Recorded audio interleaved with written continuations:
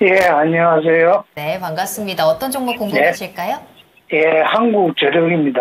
한국전력 매수가랑 비중 예. 어떻게 되세요? 예, 24,850원에 네. 30%입니다. 어, 그 이 종목 최근에 이번 주에 사셨습니까? 예, 예, 그렇습니다. 이번 주에 알겠습니다. 예. 어, 이제 거의 예. 고점 부근이라서 조금은 예. 걱정이 되실 것 같은데 예. 어떤 게 가장 궁금하세요?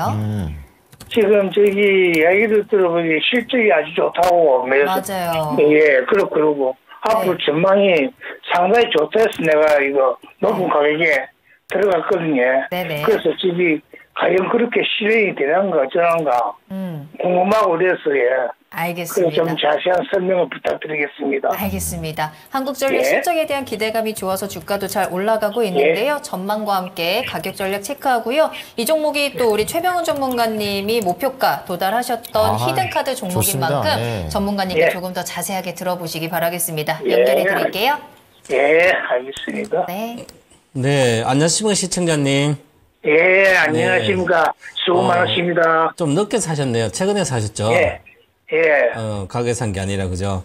어, 그러면 요게 어 실적이 이제 좋아진 올해 한 영업이익 기준으로 보면 계속 적자 나다가 수년 동안 어, 올해 한 뭐 9조에서 한 7조까지 이렇게 나올 걸로 보여요. 예, 예. 과거에 이제 이 한국전력이 어 2012년부터 쭉 이제 13년도 어부터 시작해서 어 좋을 때 이제 어 그때 유가가 많이 빠졌을 때 한 12조 막 영업이 이렇게 나왔었거든요. 그때 주가가 한 4, 5만 원대 갔었어요. 근데 아직까지는 그거에 한 그 정도는 안 나올 걸 보여서 어 기본적으로 한 3만 원대 지난번에 제가 여기 어 하면서 목표가를 3만 천 원으로 일단 일천 목표가를 높여 놨거든요.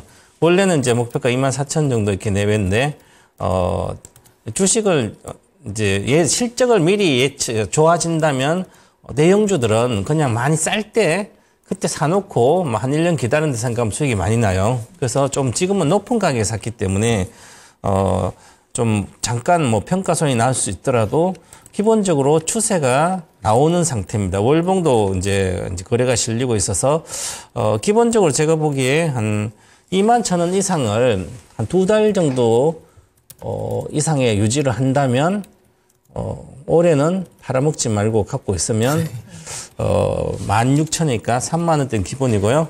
더 이상 가서 한 3만 8천 원, 뭐 이렇게 4만 원대로 갈 수도 있을 걸로 보여요.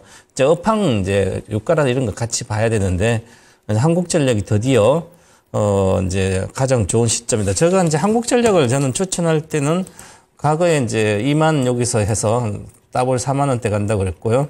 그 다음에 잠깐 2020년도 한달 잠깐만 20% 먹고 나고 그 다음 최근에 이제 작년 11월 추천했는데 어 적자가 나는 회사들은 안 되지만 흑자가 계속 나고 내년에도 흑자가 더 확대된다면 지금부터는 팔 필요가 없다. 오히려 내려가면서 사야 된다. 그래서 저는 어 2만 4천 원대 샀으니까 오히려 2만 천 원대 유지가 되면 어 나중에 보고 추가 매수해도 괜찮다. 그 정도로 좋기 때문에 고민하지 말고 그냥 가만히 갖고 있어서 3만 천원 목표가 드리겠습니다. 보유하시기 바라겠습니다. 네, 시청자님 잘 매수하셨다고 하네요. 추세도 살아있고 전망도 좋기 때문에 2만 천 원이 깨지지만 않는다면 쭉 가져가시면서 3만 천 원까지 일단 수익을 챙겨가셔도 좋을 것 같습니다. 도움이 좀 되셨을까요?